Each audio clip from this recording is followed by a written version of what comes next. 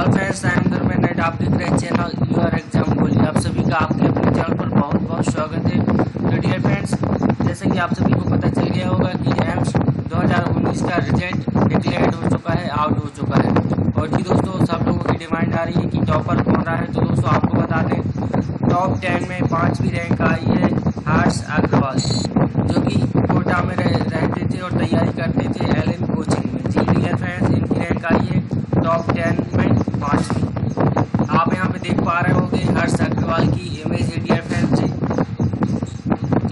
आपको बता दें इनका टॉप टेन में पाँचवीं रैंक है और दोस्तों, ये एल एन कोचिंग के स्टूडेंट्स रहे हैं और कोटा में रहते हैं। इस साल फिर से एल एन कोचिंग के स्टूडेंट्स नीट में भी बहुत अधिक सिलेक्ट हुए हैं एंड एम्स में भी बहुत अधिक संख्या में सिलेक्ट हो रहे हैं।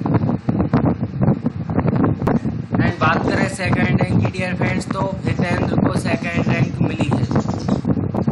जो टॉप टेन में पांचवी रैंक हमारे हर्ष अग्रवाल को मिली है। तो डियर फ्रेंड्स अभी तक इतनी इन्फॉर्मेशन आई थी जो कि मैंने शेयर कर दी है, यदि आपको यह वीडियो अच्छी लगी हो तो प्लीज़ इसको लाइक करें एंड चैनल पर नए हैं तो सब्सक्राइब कर लें। Okay thank you tata bye bye take care love you all जय हिंद, जय